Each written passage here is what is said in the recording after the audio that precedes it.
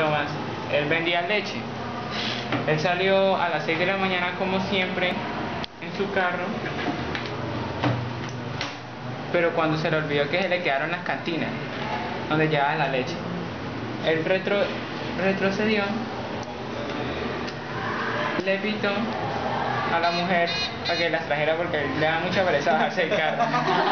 Pobrecito, pobrecito la Bueno, mujer. entonces, él cuando salió, llegó al final de la cuadra, paró, esperó que pasaran los carros y eso.